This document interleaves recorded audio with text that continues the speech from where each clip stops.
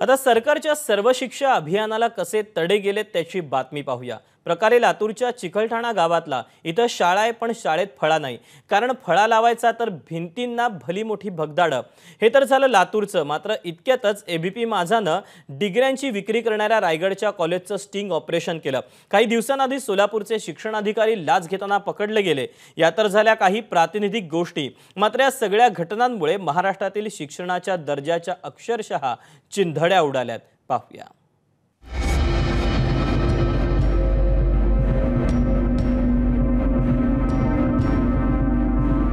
तडे गेलेले छत.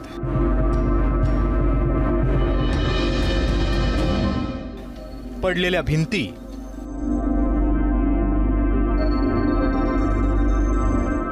कोणत्याही क्षणी कोसळू शकणारी इमारत.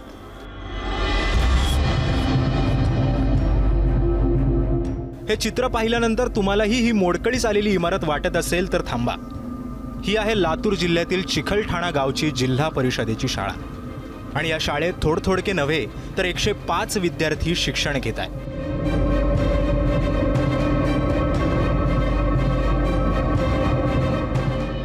आता या शाळेत विद्यार्थ्यांना कोणत्या दर्जाचं शिक्षण मिळत असेल याचा अंदाज आलाच असेल. मला शाळेची भीती वाटते. शाळेला तडा बसलेला आहे. पाहू शाळेमध्ये वर्गामध्ये पाणी गळते व माझे दप्तर व ह्या पुस्तके भिजतात. माझ्या वर्गात पाणी गळते. मग आमचे दप्तर भिजत आहेत आणि पुस्तकही भिजत आहेत. त्यामुळे आम्हाला भीती वाटते. आणि कडन सापायची भीती वाटते. आमच्या शाळेची थोडी दुरावस्था अगोदर झालेली होती. भेगाती पडलेल्या होत्या. शाळा वर्ग भरविण्यासारख्या नव्हत्या. पण जिल्हा परिषदकड पंचायत समितीकडे पाठपुरावा केल्यानंतर जिल्हा परिषदच्या दोन रूम मंजूर झालेले आहेत पंचायत समितीकडून बी डी ओ साहेबांनी आम्हाला दोन रूम मंजूर करून देतो म्हणले. आता ती या पंधरा ते वीस दिवसात त्याचं काम होणार. आता अशा ठिकाणी मुलांना शिकवणंही अवघडच आहे. मात्र या शाळेचे मुख्याध्यापक भारत सातपुते मागच्या पाच वर्षात एकही दिवस सुट्टी न घेता मुलांना शिकवण्याचं काम करतायत. मात्र जे शिक्षक मुलांना न शिकवता फक्त पगार घेतात त्यांच्याविषयी त्यांचं मतही काय आहे तर तेही ऐका. पायाभूत बाबतीमध्ये मुलं नववी दहावीला येतात मुलं आठवीला येतात पण त्यांना तिसरी चौथीचं पाचवीचं येत नाही. याच्याकडे लक्ष देण्याची गरज आहे. आणखी असं की या मोबाईलनं त्या शिक्षण खात्याचं वाटोळं केलं. आणि त्याच्यामुळं प्रामुख्याने प्रत्येकाला या कामाचं वेळ असलं पाहिजे आणि या शिक्षकांना प्रेरित करणारं शिक्षण खातं असायला पाहिजे. इथून तिथून आपण सारे वाचतो. हे अधिकारी अँटी करप्शनमध्ये सापडले त्या अधिकारी अँटी करप्शन सापडले.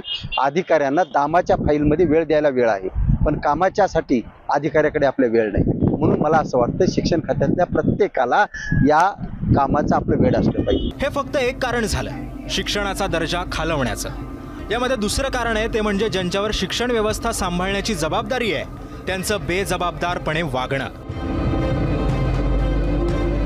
आपल्याला सर्वांनाच माहिती असेलच काही दिवसांपूर्वी सोलापूरचे शिक्षणाधिकारी किरण लोहार यांना पंचवीस हजारांची लाच घेताना एसीबीनं पकडलं होतं. आता राज्यातील शिक्षणाचा दर्जा दुसऱ्या क्रमांकावरून सातव्या क्रमांकावर घसरलाय. पण जर राज्यातील अधिकारी असेच बेजबाबदारपणे वागत असतील तर मग शिक्षणाचा दर्जा पहिल्या दहा क्रमांकाचेही बाहेर जायला वेळ लागणार नाहीये.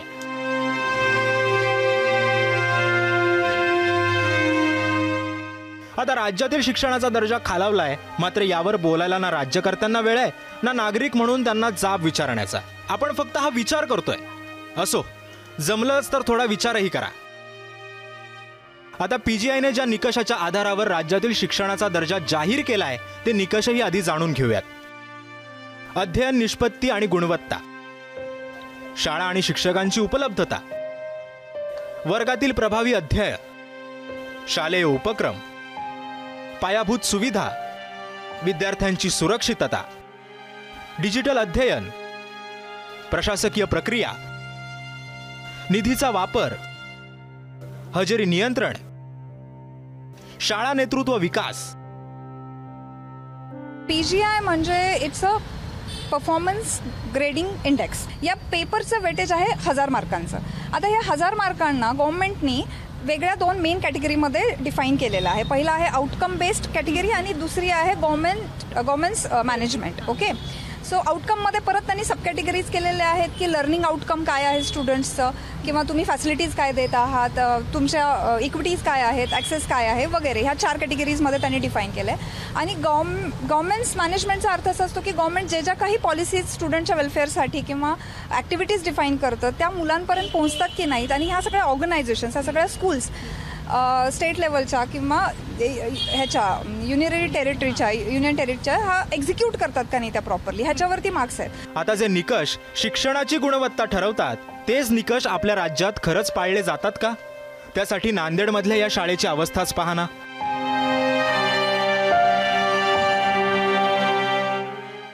ज्या राज्यात एकविसाव्या शतकात गायींच्या गोठ्यात शाळा भरत असेल तर त्या राज्यातील शिक्षणाचा दर्जा रसतळाला जायला वेळ लागणार नाही.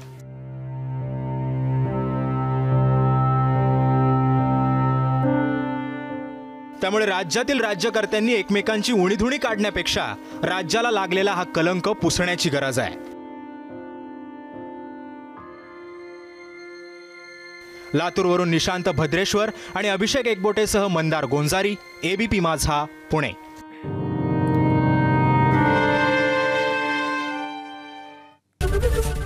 एबीपी माझा उघडा डोळे बघा नीट.